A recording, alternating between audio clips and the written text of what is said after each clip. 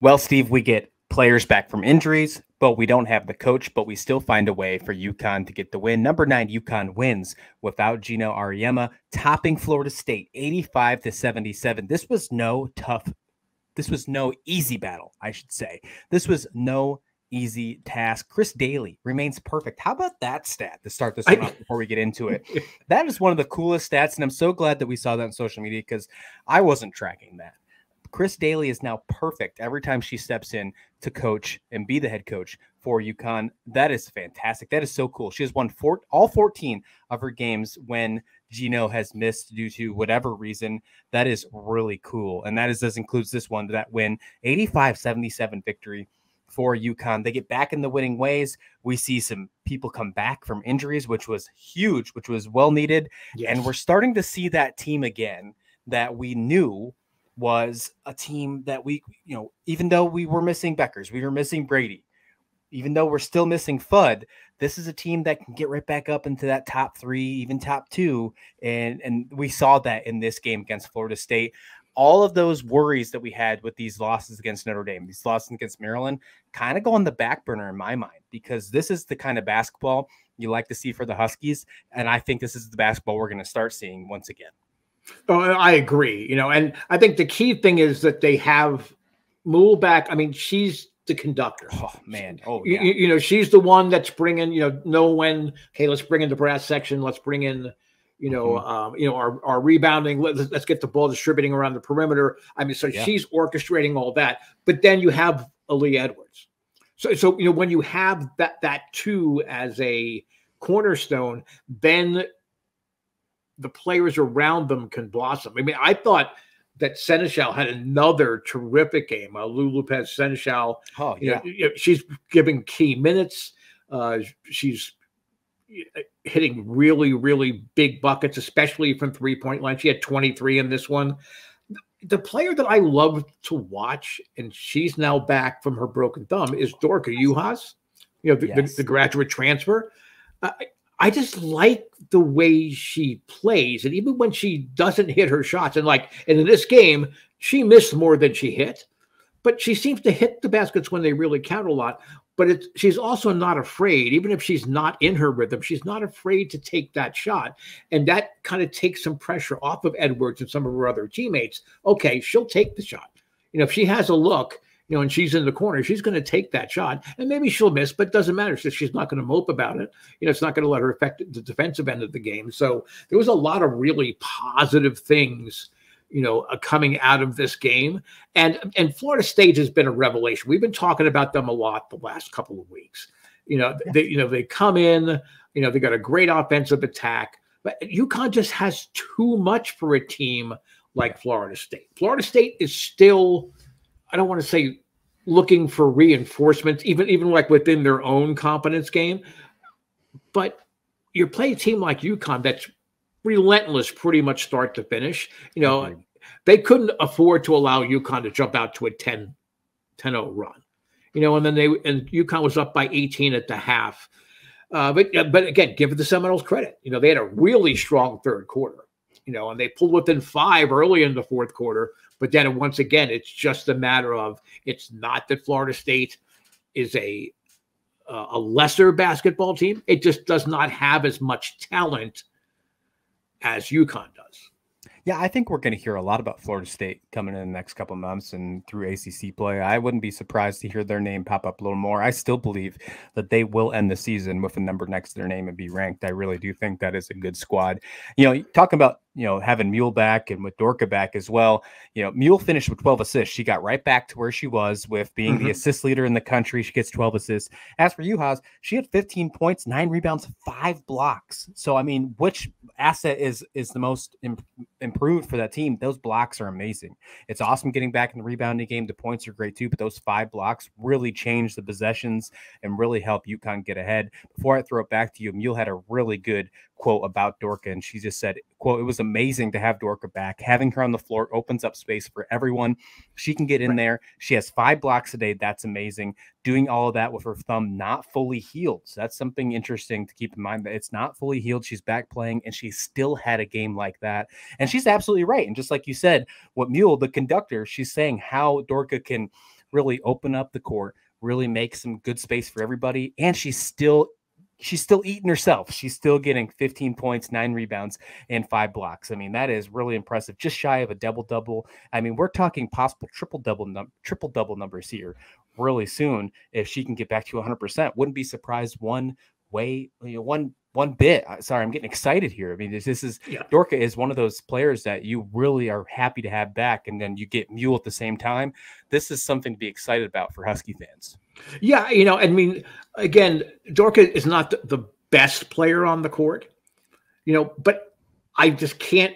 I'm just drawn to her because she does so many different things and she stays on an even keel that rubs off on some of the younger players that they've had to to put into into prime roles here and then you know i think it takes the pressure off Aaliyah Edwards if they're trying to get the ball inside and it's just not there they can kick it out. I mean they've got players you know now that they can kick it out Sénéchal Juhasz yeah. they can kick the ball out there. And and it's and it's going to make it even tougher to try to you know come up with a defensive scheme that's going to hold up throughout a whole game. And i think that's where the florida state blemish uh, was exposed here. Good team solid team. They just don't they just haven't done it enough yet i mean they've certainly done it in the early going but i think you have to keep doing it and i and i do think that they will i still think even with this loss they should be ranked I mean, I think there's enough teams. I think you know, we'll talk about Villanova at some point tonight. I think Villanova was kind of exposed that it's a one trick pony. So it's uh, a team like Florida State, especially if they can get some early wins in ACC play, even if they don't get into the, the top 25, which would be a crime before the first of the year. Very soon afterwards, Florida State's going to get in that top 25 and they're going to inch their way up into that middle echelon, I think. I mean, they're just that good. Yeah. Yeah, I think you're right. I think they do deserve to get in there, and I think we will see the Seminoles there once the season's over. I agree that it should be by the beginning of the year. Dare I say this, and I'm going to go back to UConn here, but dare I say, is this team when they have all the people back, with the exception of Fudd, you know, healthy, which we saw with Muhl and and Dorka here, is this team better without Fudd on the court? Only because this they're splitting the, the the plays up. They're splitting the the scoring up. They are really firing in all cylinders. We saw Edwards really step up. Now we're seeing Lou Lopez step up. We're seeing Muhl doing her thing, and now we're seeing Dorka step up really big. Are they doing better so far this season compared to what they had when Fudd was on the court? And if so, how amazing is going to be when they get Fudd back and then they have all that production? I'm more on board with the latter than the former they, they become a better team, yes, because more players are getting key opportunities to contribute. That's only going to give those players more confidence, get them more in sync. I don't think that the UConn Husky roster needs confidence. I think all of those women know what they're capable of. They know what their teammates are capable of. But the more that they can do it, you know, the more the more repetition of, of success, if you will, then it becomes a fact rather than something you're ha- you're having to work to achieve.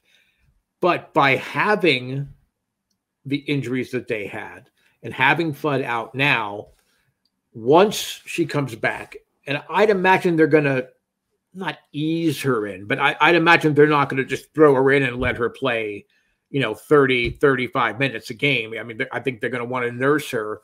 Mm-hmm. This is what's setting up for for the tournament. This is what's setting up for tournament performance, and that's what makes other coaches of elite programs nervous because UConn is setting itself up. It, it's not as concerned. I mean, what they've had, they've beaten what nine ranked teams this year. They've put some hurt on a few. I don't have that number in front of me. Yeah, I, I, I want to say I heard during the game today that it was nine, but they've actually have nine wins against ranked opponents already, and we're not even into January yet. Well, it's not nine, but they have they have three three wins against top twenty five teams, and they have played. They're only eight and two, so it can't be nine. Um, let's see. So Texas, they beat Texas, they beat NC State, they beat Iowa, and then Florida State should be ranked. So we probably, you know, we probably be up to a lot of these teams that should be. Looks like they got three and they've lost to two ranked teams. So they're three and two against ranked opponents so far this season. Yeah. So uh, you know, so again, so again, again, I put a big foot in my mouth, a big sneaker in my mouth there as I'm trying to do that. That's what I guess what I get for listening to the commentators on the game rather than turning it off and watching the game for myself. I'm getting all this, you know, the static in the air, you know, because I mean, they're they're always trying. I don't know what it is. Well, let's talk about this real quick before we head okay. out. Another ranked opponent comes up in Big East play. Obviously, Seton Hall is next, but then number 16 ranked Creighton is at the end of the year before they get into Marquette on the 31st. With that being said, this Creighton team is the next one on the list for ranked play. As of right now, that is the only team they have left uh, that is ranked all season long because we know Villanova is going to fall out of those rankings. Now, I do think that some teams will pop back up. Maybe even Tennessee might reappear. I'm sorry. Also, South Carolina's in the mix. There, I say I don't think they're not going to be, or they're going to be ranked for the entirety of this season. So yeah, right. don't forget South Carolina. Okay, but uh, for Big East play, this is probably the next biggest thing is playing against Creighton. If they play like they played against Florida State against this Creighton team, I don't see them having any worry whatsoever, Steve. I really don't. I know Creighton's a really good basketball team this year, and we've talked about them plenty of times so far on this show throughout the season thus far. However, I don't think UConn's going to have a problem with Creighton if they play like they did against Florida State.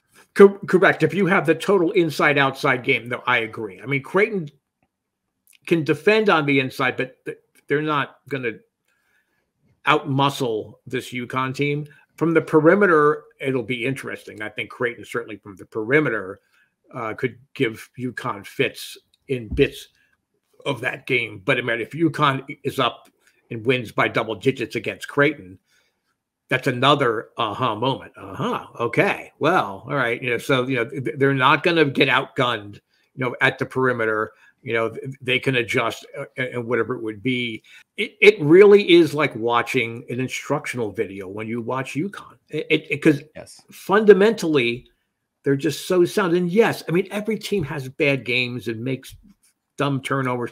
But really even when they're committing turnovers it's not a it, it's more being too aggressive i think sometimes as opposed to just making bad decisions.